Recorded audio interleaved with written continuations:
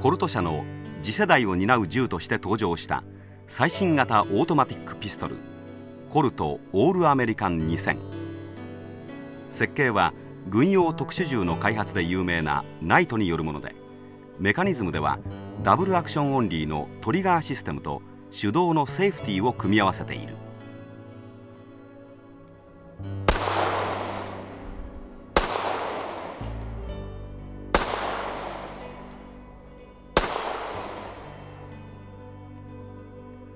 またスライドをロックするユニークなロータリーバレルロッキングの採用も大きな特徴となっている。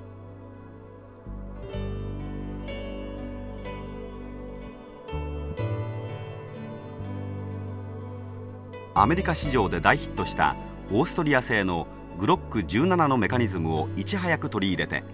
スチール製のスライドとバレルプラスチック製のグリップフレームを組み合わせるなど今までのコルトとは一線を画した新しい世代のハンドガンに仕上がっている。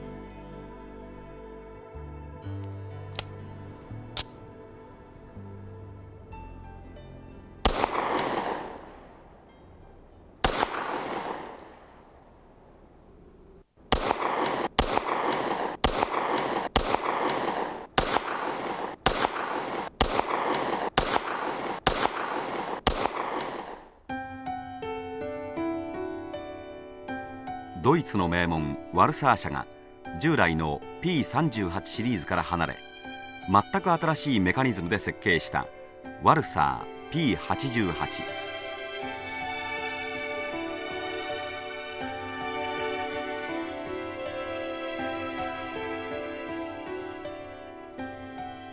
アメリカ市場を意識して他の現代オートマティックピストルと同様バレルをスライドがすっぽりと覆ったオーソドックスなデザインとなっている。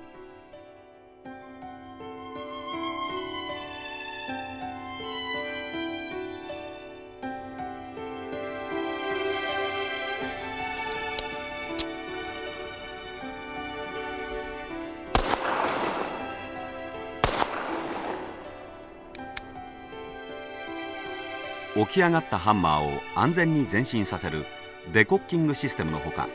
速射性に優れるダブルアクショントリガーや相談数の多いダブルカーラムマガジンなど現代オートマティックピストルに求められるスペックを全て身につけている。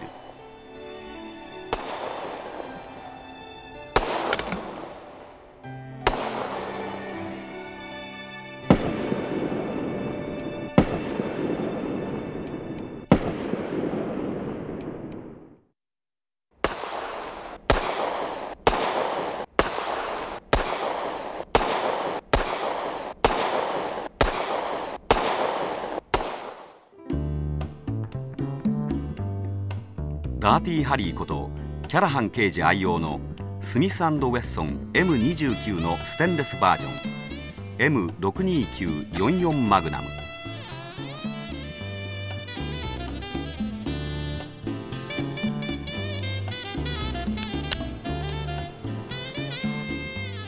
この銃の最大のポイントは一般に入手できる範囲では最大の威力を持つ44マグナム弾を発射できることだがその実用面よりもむしろグラマラスなルックスや弾丸発射時の迫力などといった点での人気が高い。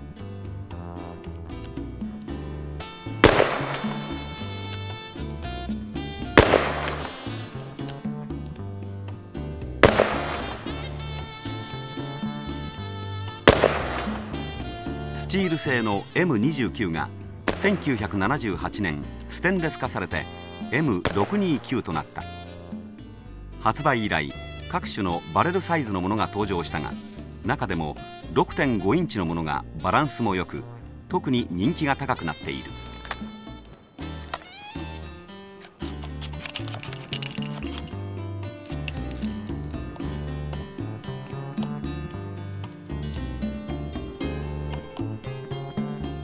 ステンレスのボディはメンテナンスが容易なため人気も高くリボルバーの素材として主流になりつつある。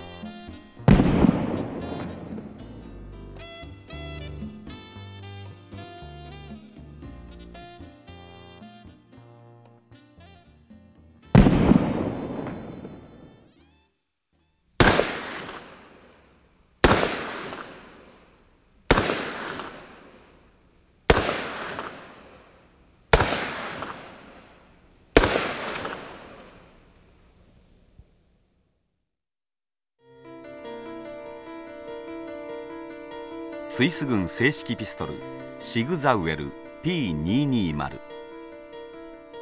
スイスの精密なデザインとドイツの精巧な技術を併せ持つこの銃は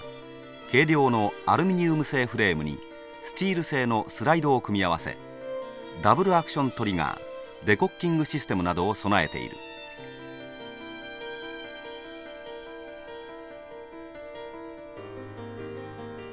現在全長や口径相談数の異なる225、226、228、229などのバリエーションを展開しているが全て同一のメカニズムを採用している。